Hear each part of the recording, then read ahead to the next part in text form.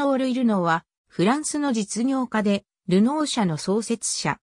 自動車産業創世期のパイオニアの一人でもある。ルイ・ルノーは、パリのブルジョア家庭に、5人兄弟の4番目として生まれ、名門リセ・コンドルセに通った。彼はごく幼い時から工学や力学に見せられていた。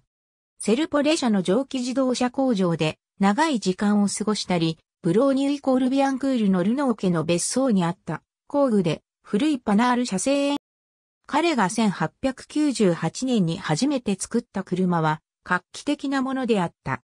ドディオン・ブートンの2ストローク機関エンジンを改造した彼の車は綺麗に継ぎ合わされたドライブシャフト、全身三段と交代のトランスミッションを特徴とした。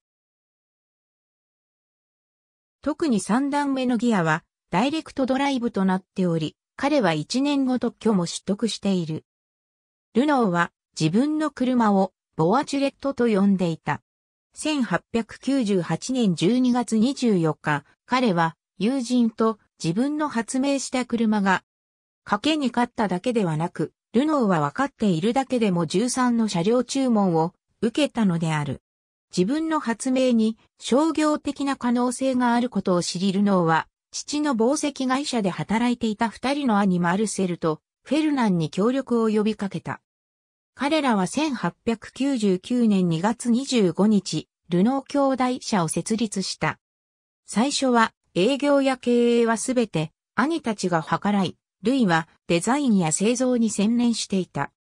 しかし1903年のパリ・マドリード自動車レースでマルセルが自己死し、1908年にはフェルナンが健康上の理由で会社から手を引くと、ルイが会社運営全般を取り仕切るようになった。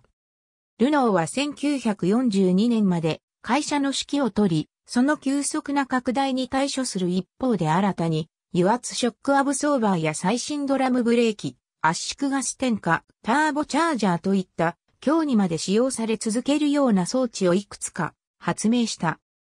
第一次世界大戦の終結後、有名な革命的戦車、ルノー FT-17 など、軍事面での貢献に対し、彼はレジオンドヌール勲章を受勲した。両大戦の間、彼の右翼的見解がよく知られる一方で、ブローニュイコールビアンクールの従業員は、先鋭的プロレタリアートに染まり、様々な労働争議が起きた。彼はヨーロッパ諸国間での組合の必要性を訴えた。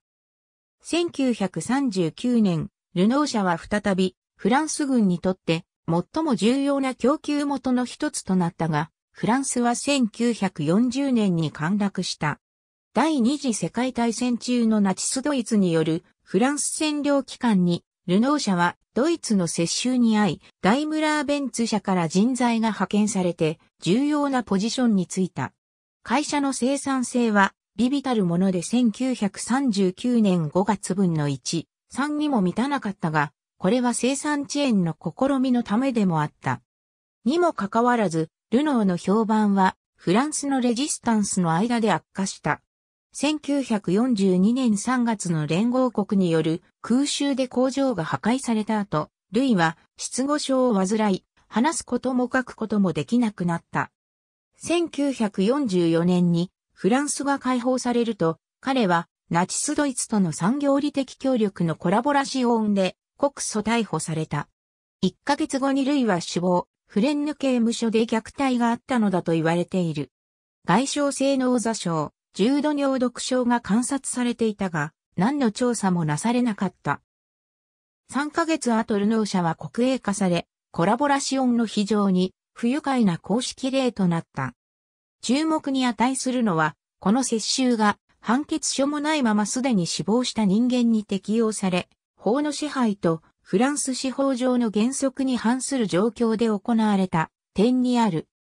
対戦中に実際の工場を監督していた責任者は1949年、彼と工場は利的協力していたわけではないという判決を勝ち取り、1967年には、ルイの息子で唯一の相続人、ジャン・ルイ・ルノーが若干の賠償を勝ち取った。